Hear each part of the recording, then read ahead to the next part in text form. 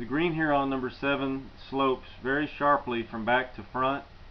So your best bet is to leave the ball low of the hole